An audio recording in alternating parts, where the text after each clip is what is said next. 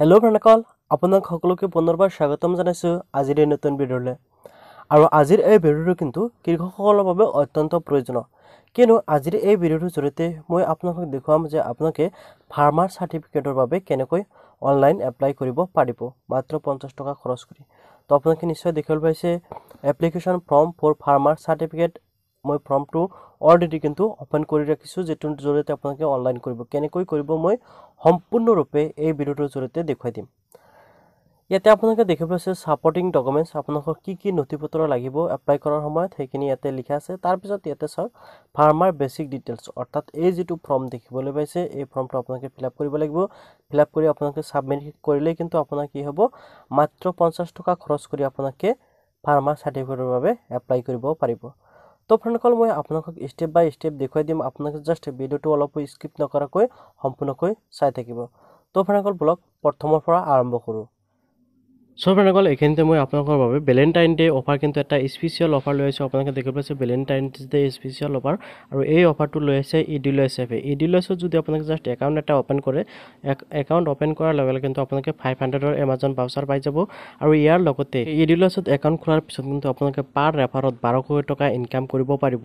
Just কেনেকৈ account খুলিব লাগে সেই বিষয়ে মই অলৰেডি ভিডিঅ' বনাই ৰাখিছোঁ। আৰু সেই ভিডিঅ'ৰ লিংক মই এই ভিডিঅ'টোৰ ডিছক্ৰিপশ্যনত দি থ'ম। আপোনালোকে তাৰ পৰা ভিডিঅ'টো চাই কিন্তু এতিয়াই ই ডি লৈছত একাউণ্ট খুলি লওক। আৰু এই অফাৰটো আপোনালোকে লৈ লওক। চ' ফ্ৰেণ্ডসকল আপোনালোকে এপ্লাই কৰিবলৈ এই যিটো ৱেবছাইট দেখিবলৈ পাইছে এই ৱেবছাইটত আহিব লাগিব। আৰু এই ৱেবছাইটটোৰ লিংক মই আপোনালোকৰ বাবে ভিডিঅ'টোৰ ডিছক্ৰিপশ্যনত দি থ'ম। অন্যথা আপোনালোকে just R T P S dot Assam dot G B dot in বুলি লিখি চাৰ্চ কৰিলেও কিন্তু আহি পাব। তো ফ্ৰেণ্ডসকল ফাৰ্ষ্ট টাইম আপোনালোকে এই ৱেবছাইটত অহাৰ পিছত কিন্তু আপোনালোকে ৰেজিষ্টাৰ কৰিব লাগিব। ৰেজিষ্টাৰ কৰি আপোনালোকে ৰেজিষ্টাৰ আই ডি পাছৱৰ্ড বনাব লাগিব। তাৰপিছতে আপোনালোকে ইয়াৰ পৰা লগ ইন কৰিব লাগিব। আৰু এই যিটো ৱেবছাইট এই ৱেবছাইটে কিন্তু অসম চৰকাৰৰ ফালৰ পৰা নতুনকৈ মুকলি কৰিছে। আৰু আপোনালোকে বহুতকেইটা ছাৰ্ভিচ পাই যাব ইয়াতে। তো মই ফাৰ্ষ্ট টাইম আপোনালোকক ৰেজিষ্টাৰ কৰি দেখুৱাইছোঁ। তাৰপিছত মই আপোনালোকক ষ্টেপ বাই ষ্টেপ দেখুৱাম যে আপোনালোকে কেনেকৈ ইয়াৰ বাবে এপ্লাই কৰিব। তো ফাৰ্ষ্ট টাইম ফ্ৰেণ্ডসকল ওপৰফালে দেখিবলৈ পাব। দুটাকৈ অপশ্যন আছে এটা log in register and take status তো আপোনালোকে ফাৰ্ষ্ট টাইম কি কৰিব? লগ ইন এণ্ড ৰেজিষ্টাৰ যিটো অপশ্যন আছে এই অপশ্যনটোত ক্লিক কৰিব। এই অপশ্যনটোত ক্লিক কৰাৰ লগে লগে চাওক ফ্ৰেণ্ডসকল ইয়াতে লিখাইছে log in I D and password খুজি আছে। তো আমাৰ হাতত যিহেতু log in I D password নাই তো আমি কি কৰিম? স্কল ডাউন হৈ আহি দেখিবলৈ পাইছে আপোনালোকে don't have a account register here আপোনালোকে জাষ্ট এই অপশ্যনটোত ক্লিক কৰিব। এই অপশ্যনটোত ক্লিক কৰি ৰেজিষ্টাৰ কৰিব লাগিব অৰ্থাৎ আই ডি আৰু পাছৱৰ্ড বনাব লাগিব।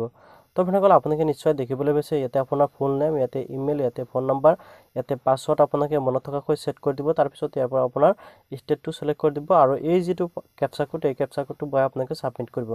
ছাবমিট কৰাৰ লগে লগে অ' টি পি এটা আহিব আৰু অ' টি পিটো বয় আপোনালোকে জাষ্ট কি কৰিব ছাবমিট কৰিব। ছাবমিট কৰাৰ লগে লগে আপোনাৰ আই ডি পাছৱৰ্ড ক্ৰিয়েট হৈ যাব। আপোনাৰ যোনটো মোবাইল নাম্বাৰ সেই মোবাইল নাম্বাৰটো আপোনাৰ আই ডি হ'ব আৰু পাছৱৰ্ড যিটো আপুনি ইয়াতে মনত থকাকৈ দিব সেইটো আপোনাৰ পাছৱৰ্ড হৈ যাব।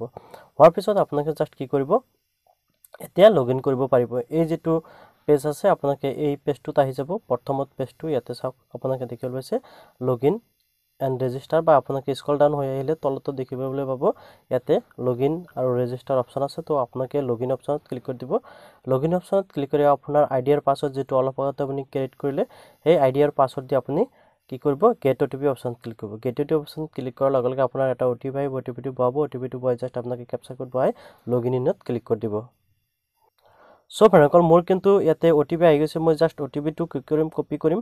কপি কৰি জাষ্ট ইয়াতে বহাই দিম বা আপোনালোকে পাছৱৰ্ড বহাই কিন্তু ডাইৰেক্ট কেপচাৰ কোডটো বহাই লগ ইন কৰিব পাৰিব। মই জাষ্ট অ' টি পিটো দি দিছোঁ ইয়াতে মই কেপচাৰ কোডটো বহাই দিম। কেপচাৰ কোডটো বহাই দি মই জাষ্ট কি কৰিম লগ ইন অপশ্যনত ক্লিক কৰি দিম। লগ ইন অপশ্যনত ক্লিক কৰাৰ লগে লগে কিন্তু আপোনাৰ লগ ইন হৈ যাব আপোনালোকে দেখিবলৈ পাব। আপোনালোকৰ সন্মুখত এনেকুৱাকৈ আহি যাব এতিয়া আপুনি জাষ্ট কি কৰিব? এইটো ছাইডত দেখিবলৈ হৈছে এপ্লাই ফৰ ছাৰ্ভিচ আপোনালোকে জাষ্ট কি কৰিব লাগিব? এই অপশ্যনটোত ক্লিক কৰিব। এই অপশ্যনটোত ক্লিক কৰাৰ লগে লগে চাওক আৰু এটা অপশ্যন খোল খাব সেইটো হ'ল ভিউ অল এভেইলেবল ছাৰ্ভিচটো আপোনালোকে ইয়াতে ক্লিক কৰি দিব। ইয়াতে ক্লিক কৰাৰ লগে লগে কিন্তু আপোনালোকৰ সন্মুখত ছাৰ্ভিচসমূহ আহি যাব। তো আপোনালোকে কি কৰিব? ফাৰ্ষ্ট টাইম আপুনি আজি যিটো বিষয় মই দেখুৱাইছোঁ আপোনালোকে সেই বিষয়টো বিচাৰি ওলাব লাগিব। তাৰ বাবে আপোনালোকে জাষ্ট বিয়াল্লিছ নাম্বাৰ যিটো অপশ্যন আছে বা বিয়াল্লিছ নাম্বাৰ যিটো ছাৰ্ভিচ আছে সেই ছাৰ্ভিচটোলৈ যাব লাগিব। ইয়াতে কিন্তু টোটেল বিয়াল্লিছটা ছাৰ্ভিচ পাই যাব।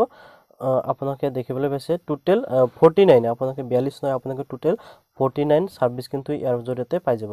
তো আজি মই আপোনালোকক যিটো বিষয়ে দেখিবলৈ ওলাইছোঁ সেইটো হ'ল ইছ্যু অফ ফাৰ্মাৰ চাৰ্টিফিকেট আপোনালোকে দেখিবলৈ পাইছে ফৰ্টি ওৱান নাম্বাৰ। আপোনালোকে জাষ্ট ইয়াতে চাব কাৰ্বি আলং এ চি বুলি লিখা আছে সেই বুলি আপোনালোকে নাভাবিব যে আপোনাৰ ডিষ্ট্ৰিক্টৰ হ'বনে নাই তেনেকুৱা নহয়। জাষ্ট আপোনালোকে কি কৰিব এই যিটো লিখা আছে ইছ্যু অফ ফাৰ্মাৰ চাৰ্টিফিকেট আপোনালোকে জাষ্ট ইয়াৰ ওপৰত ক্লিক কৰি দিব। তাৰপিছত আপোনালোকৰ সন্মুখত কিন্তু এনেকুৱাকৈ ফৰ্মটো খোল খাব এতিয়া চাওক ফ্ৰেণ্ডসকল আপোনালোকে দেখিবলৈ পাইছে application form for farmer certificate মই প্ৰথমতে যিটো দেখুৱাইছিলোঁ। ফ্ৰেণ্ডসকল আপুনি যদি ইয়াতে এপ্লাই কৰিব বিচাৰে তেনে ক্ষেত্ৰত আপোনালোকৰ কি কি নথি পত্ৰৰ প্ৰয়োজন হ'ব? ইয়াতে দেখিবলৈ পাইছে ফাৰ্মাৰ পাছপৰ্ট চাইজ ফটো লাগিব। অৰ্থাৎ যিজন কৃষকৰ বাবে আপুনি এপ্লাই কৰিব সেইজন কৃষকৰ ফটো লাগিব। লেণ্ড অনাৰ ছিগনেচাৰ বা থাম্পছ লাগিব। যিজন ব্যক্তিৰ খেতি বা মাটি সেইজন ব্যক্তিৰ কি লাগিব? ছিগনেচাৰ বা থাম্পছ লাগিব। লেণ্ড অনাৰ ছিগনেচাৰ লাগিব। আধাৰ কাৰ্ড লাগিব মেণ্ডেটাৰী হয়। বেংক পাছবুক লাগিব। Certificate of non cadastral and land area এইটো আপোনাৰ লাগিব। Mandatory is case of non cadastral land তাৰপিছত আছে চাৰ্টিফিকেট এইটো চাওক non digitization non digitization land record এইটো আপোনালোকৰ লাগিব। কপি অফ লেণ্ড পাট্টা লাগিব। এগ্ৰিমেণ্ট কপি বা ইন কেছ কণ্টেণ্ট ফাৰ্মাৰ লাগিব। আপোনালোকৰ এইসমূহ লাগিব। লগতে চাওক আপোনাৰ চাৰ্জ কিমান লাগিব? পঞ্চাছ টকা চাৰ্জ লাগিব। কি কি নথি পত্ৰৰ প্ৰয়োজন হ'ব সেইখিনি আপোনালোকে নিশ্চয় জানিব পাৰিলে। এতিয়া হ'ল আপোনালোকে কেনেকৈ ফৰ্মটো ফিল আপ কৰিব। আপোনালোকে দেখিবলৈ পাইছে ফাৰ্মাৰ বেচিক ডিটেইলছ তো ফাৰ্ষ্ট টাইম ইয়াৰ পৰা আপোনালোকে টাইটেল অপশ্যনত ক্লিক কৰি আপোনাৰ টাইটেলটো চিলেক্ট কৰি দিব। আপোনাৰ যিটো হয় শ্ৰী শ্ৰীমতী মিষ্টাৰ আপোনাৰ যিটো হয় আপুনি চিলেক্ট কৰি দিব। তাৰপিছত আপোনাৰ নামৰ প্ৰথম অংশ অৰ্থাৎ ফাৰ্ষ্ট নেম ইয়াতে লাষ্ট নেম ইয়াতে আপোনাৰ ফাদাৰ্ছ নেম হ'ব ইয়াতে মোবাইল নাম্বাৰ ইয়াতে আধাৰ আৰু ইয়াতে আপোনালোকে ইমেইল দিব। ইমেইলটো আপোনাৰ মেণ্ডুটাৰী নহয় দিলেও হ'ব নিদিলেও হ'ব। তাৰপিছত ইয়াৰ পৰা আপোনালোকে জেণ্ডাৰটো চিলেক্ট কৰিব। ইয়াতে চিলেক্ট কৰি আপোনাৰ জেণ্ডাৰ যিটো হয় মেল ফিমেল বা আদাৰ্ছ তাৰপিছত ইয়াতে আপোনালোকৰ কাষ্টটো আপোনাৰ general S T S C আপোনাৰ যিটো হয় অ' বি চি আপোনাৰ যিটো হয় আপুনি দিব।